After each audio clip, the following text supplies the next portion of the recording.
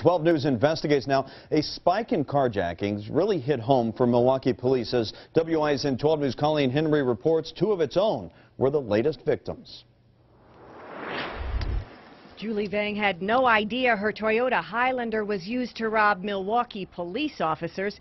She got it back today after carjackers took it at gunpoint. I mostly just felt lucky that nothing, you know, worse could have happened. The Vangs had just pulled in the driveway after a weekend road trip. They took their three little kids in the house and returned to get their luggage when a man with a gun demanded her husband's wallet and keys. I came out actually and I saw him and my husband did not have the key so I had the key in my hand so I just I had to throw it at them. Vang says police told them their carjackers had used the Highlander in other crimes. They just said that there was a group of kids um, going around and doing the same thing to you know other cars so I don't know how many there are out there. 12 News has learned those victims include a Milwaukee police officer and her husband a police lieutenant. Police say the officer pulled up to her house after her shift at the police department when the suspect came up to her car, put a gun in her face, and threw her to the ground.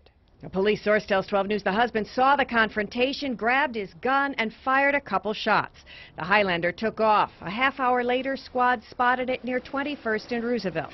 Five occupants jumped out and ran.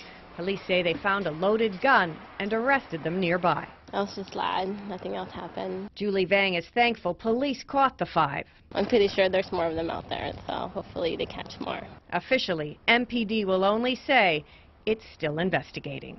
In Milwaukee, Colleen Henry, WISN 12 News. Ah, amazing. Four 16-year-olds and one 20-year-old are in custody tonight as a result. Milwaukee police say about 6,600 cars were stolen in 2014. So far in 2015, there have been 800 cars stolen. That's 100 ahead of the pace of last year.